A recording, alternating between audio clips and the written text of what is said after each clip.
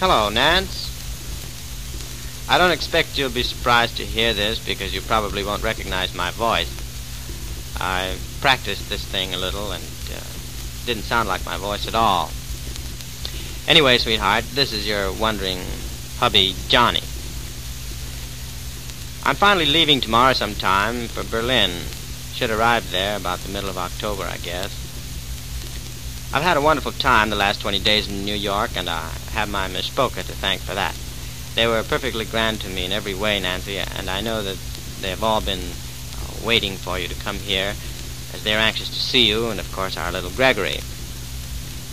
He should be about eight months old now, because I figure you won't be here until about the middle of December. Wonder what he looks like. Uh, has he kicked you in the shins yet?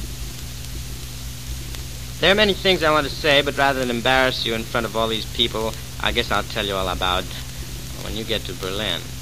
Uh, I've, I've tried to do everything that was within my power to make your trip and your stay in New York easier and more comfortable.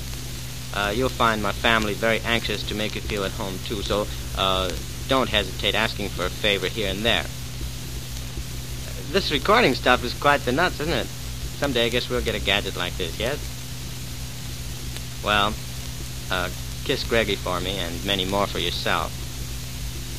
To the Sykemans, the Gullumstocks, the Maxims, and Renee and Joey, I want to take this opportunity to thank you very, very much for the most pleasant 20 days I spent in New York. So long about